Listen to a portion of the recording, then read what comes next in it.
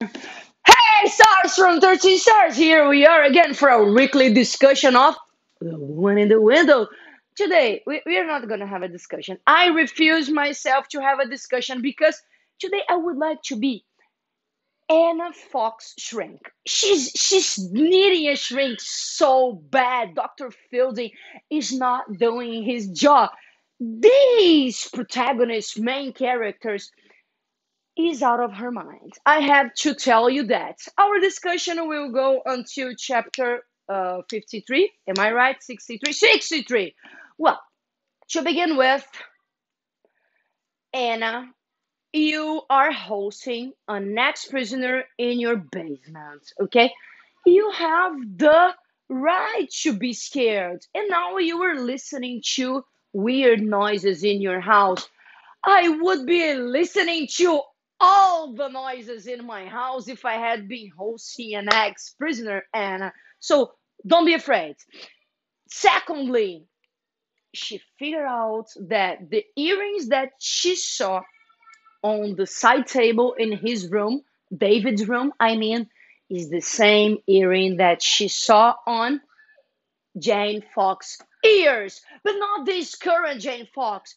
Her Jane Fox, the Jane Fox that she swears existed and ceased to exist after being stabbed. OMG, how can she live with this guy in the basement? I couldn't. I definitely couldn't. Well, thirdly, Anna Fox decides to fish Alistair's previous life and she calls his uh ex company in Boston. She does it, okay, and she talks to Alex and she introduces herself as Alex. Alex talking to Alex, okay? Alex doesn't give a lot of information in his description about Jane Russell's, the wife's uh, physical descriptions is like uh, vague because both of them light skin and dark haired. So she doesn't really know who Alex was talking about when he saw the picture. Well, nice attempt, Anna. I clap my hands for you. Fourth attempt of uh, figuring out what was going on across the park in the Russell's house. She left home. Yeah, she is. Uh, she has a commented. She's a commented from agoraphobia. She gets the umbrella. I don't have an umbrella at home. That's why I don't have one here. Okay she gets the umbrella, she leaves home, and she follows Jane Russell, the current one, to the cafe. She wants to talk to her so bad that she does it, leaving her door open. This is nice to mention, okay?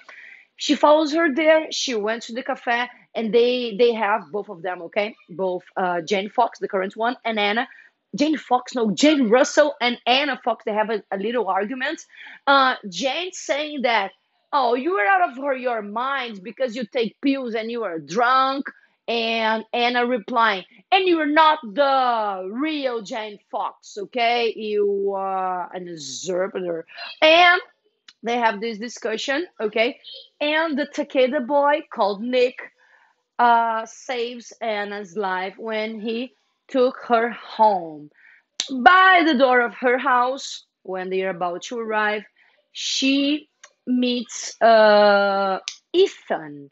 Ethan ends the the moment of taking Anna back home. Okay, she's now surrounded by teenagers. Okay, uh, and he takes her home, asking her, "What were you doing out? You shouldn't be out." Very bossy, this guy for a 16 or 17, I don't remember year old guy.